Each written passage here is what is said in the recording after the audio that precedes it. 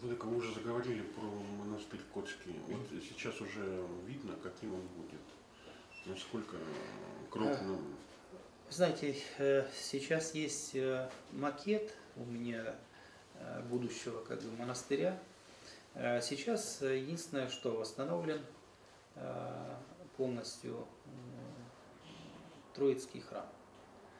Он трехпредельный, прекрасный, очень толстые стены, и восстановили его, как и прежде он был. Сейчас они вошли в зиму с теплом внутри, ну, то есть подвальные помещения там полностью уже задействованы, э, действуют. И сейчас ведется внутренняя штукатурка под росписи, э, готовят э, стены. И вот к Новому году должны башенку звонницы закончить. Практически там все уже что касается храма. Конечно, территорию еще полностью нужно обустраивать и стены, и строения – Э, вот. Сейчас предложен вариант э, э, братских корпусов и стен монастыря. То есть это все-таки будет монастырь? Деревя... Деревянным, да.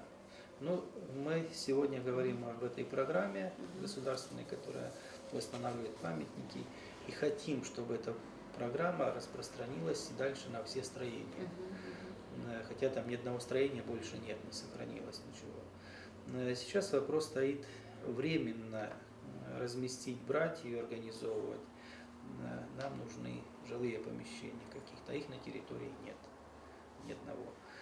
С администрацией района, города Октябрьского проговаривали эти вопросы, и мы сейчас ведем работу в этом направлении, может быть, приспособить какие-то здания, передать.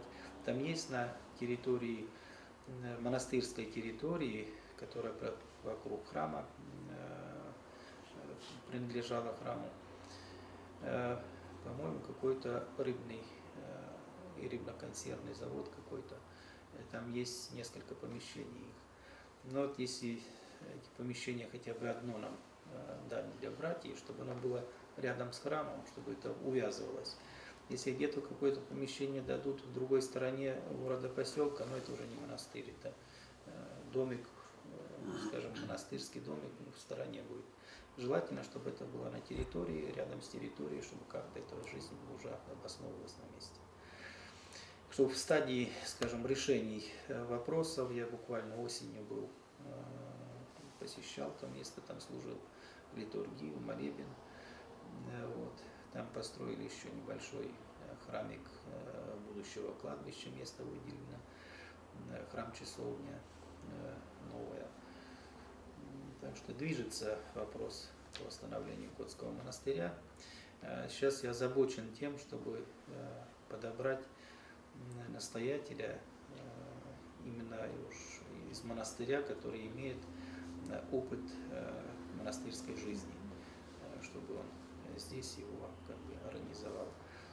Беседовал с несколькими настоятелями э, крупных мужских монастырей, э, просил о подборе кандидатов на э, вот, игуменство этого монастыря. Я думаю, что даст Бог уже вот в следующем году мы этот вопрос должны разрешить.